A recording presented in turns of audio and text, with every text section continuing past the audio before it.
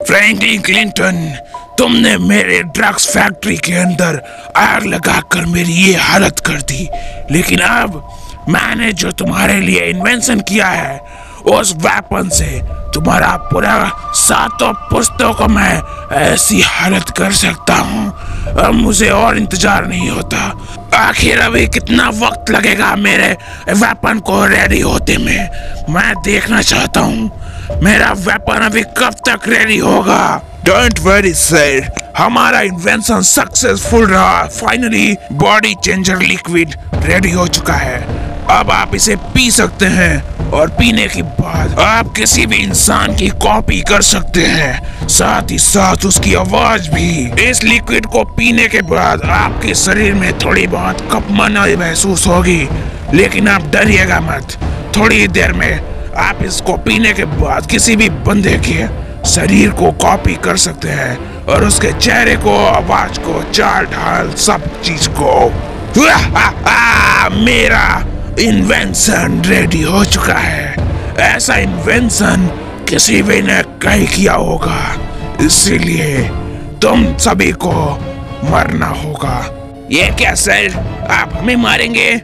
बिल्कुल। क्योंकि ये इन्वेंशन दोबारा नहीं होना चाहिए। ये सिर्फ़ खास मेरे लिए ही होना चाहिए। सर आप मुझे मत मारिए। मैं आपके बहुत काम आ सकता हूँ। आज के बाद मुझे ये इसके बाद किसी चीज़ की ज़रूरत नहीं पड़ेगी। तुम्हारी भी नहीं। चलो। अब मैं इस लिक्विड को पी लूँगा और पीने के बाद माइकल की बॉडी में जाना चाहूँगा। क्योंकि माइकल की बॉडी में घुस के फ्रैंकलिन को मारना बहुत आसान है। ये क्या? इस साइंटिस्ट ने तो बोला था पीने के बाद आप किसी का भी रूप ले सकते हैं। लेकिन मेरे बॉडी में कुछ नहीं हो रहा कुछ नहीं हो रहा। मुझे बेवकूफ़ बनाया। ये क्या?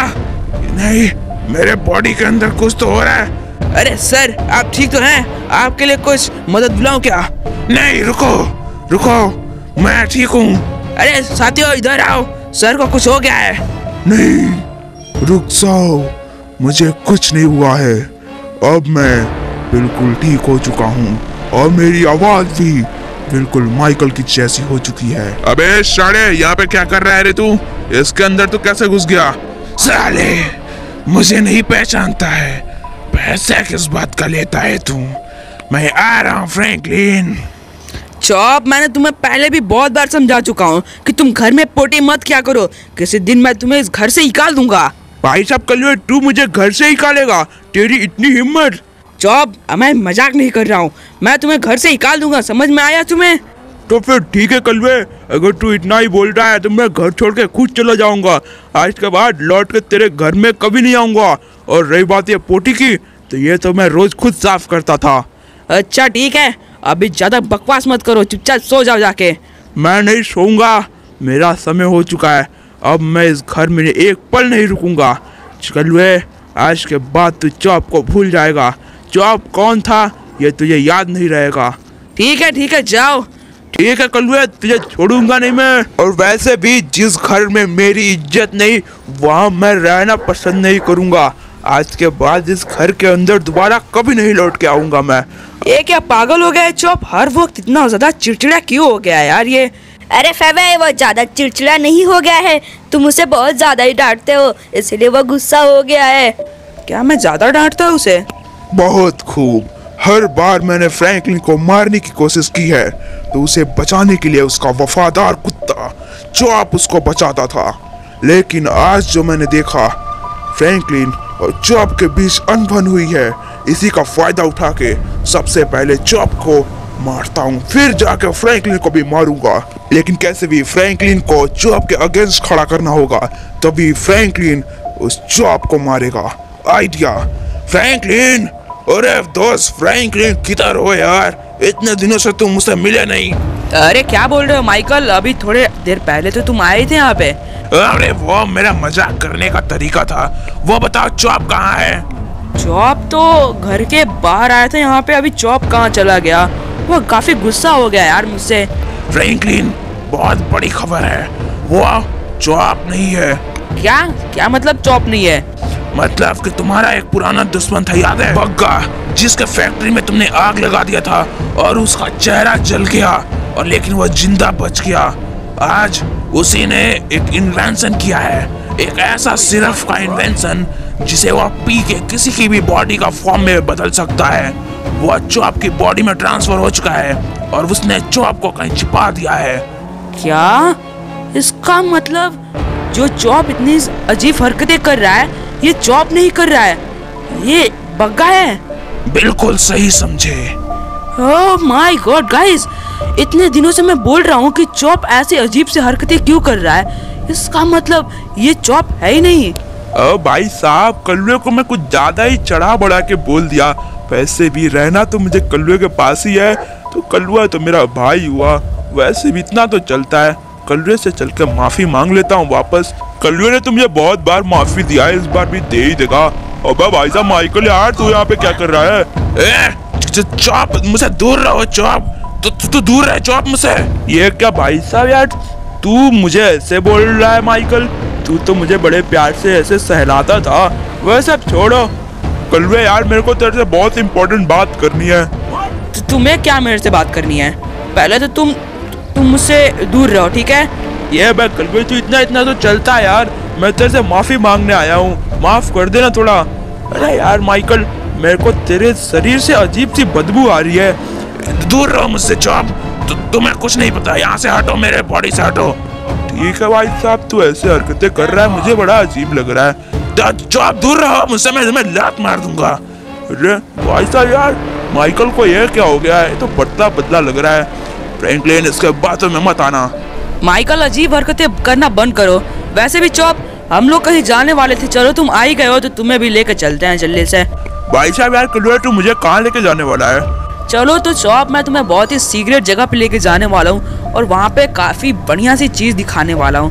जिसे देख के तुम बिल्कुल सरप्राइज़ हो जाओगे। फ्रैंकलिन ये क्या कर रहे हो? इस जॉब को लेकर तो कहाँ जा रहे हो? इसे तो मारना था हम लोगों को। ये तो तुम भूल गए। तुम्हारा दुश्मन बग्गा है। मुझे पता है माइकल।